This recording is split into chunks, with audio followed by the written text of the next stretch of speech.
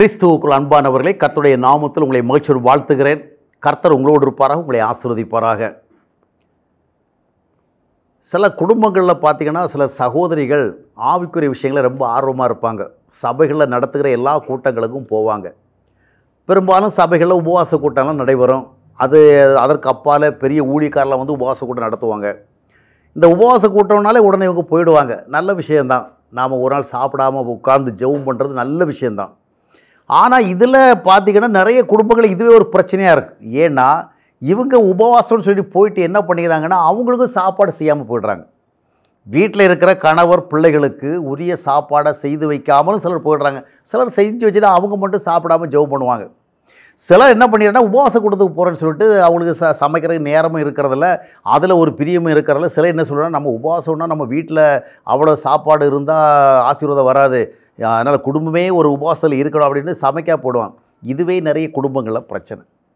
அப்போ நம்ம ஆவிக்குரிய காரியங்களுக்கு போகிற வேளையில் குடும்ப காரியங்களை செய்ய வேண்டிய கடமை செய்யணும். சிலர் பார்த்தீங்கன்னா சபை சபை சபை சபை என்று சபையை சுற்றி சுற்றி வருவாங்க. பாஸ்டருக்கு செய்ய வேண்டிய காரியங்கள் அந்த சபைக்கு செய்ய வேண்டிய எல்லா காரியங்களும் சரியாக செய்வாங்க. குடும்பத்துக்கு செய்ய வேண்டிய காரியங்களை செய்ய மாட்டாங்க. சில சகோதரிகளும் அப்படித்தான் அஹ், கூட்டம் இரவு கூட்டம் காலை கூட்டம் எல்லா ஜெப கலந்துக்குவாங்க. ஆனால் குடும்பத்தில் பிள்ளைகளுக்கு என்ன செய்யணும் கணவனுக்கு என்ன செய்யணுங்கிறத உரிய விதமாக பண்ணுறதில்ல அதனால் இங்கே வீட்டில் இருக்கிறவங்களுக்கு இந்த ஆன்மீகமே ஒரு பெரிய விருப்பம் கொடுத்தது. நிறைய பேர் பார்த்தீங்கன்னா அவ்வளவு கூட்டங்களை கலந்துக்குவாங்க. ஆனால் வீட்டுக்குள்ளே பார்த்தா ஒரு பொறுமை கிடையாது ஒரு தாழ்மை கிடையாது ஒரு நற்குணங்கள் கிடையாது.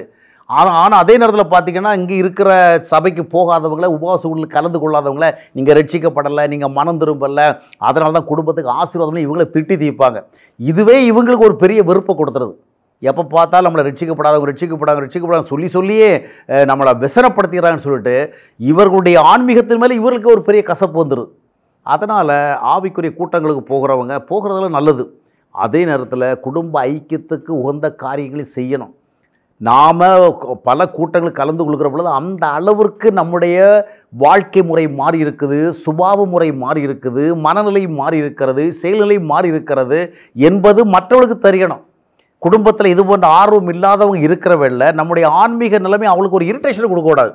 இவ்வளவெல்லாம் போகிறாங்க வருகிறாங்க ஆனால் வாயை திறந்தால் பேசுகிறது இந்த மாதிரி இருக்குது நடந்துக்கிறது இந்த மாதிரி இருக்குது அப்படின்னு அவங்க வந்து ஆன்மீகத்தில் இருக்கிற இருக்கிறவங்கள்ட்ட இருக்கிற குறைபாடுகளை பார்த்து மன வருந்தக்கூடாது. எனவே உபவாச கட்ட கூட்டங்களுக்கெல்லாம் போகலாம் ஆனால் வீட்டில் சாப்பாடெல்லாம் செஞ்சு வச்சுட்டு அவங்கள செய்ய வேண்டிய க கடமைகளை செஞ்சுட்டு நாம் போய் கலந்துக்கணும்.